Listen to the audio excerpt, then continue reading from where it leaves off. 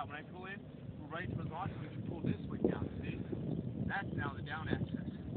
So even if the glider points this way, your down still comes from that angle. Okay? Okay. Fine, so I just saw right about there.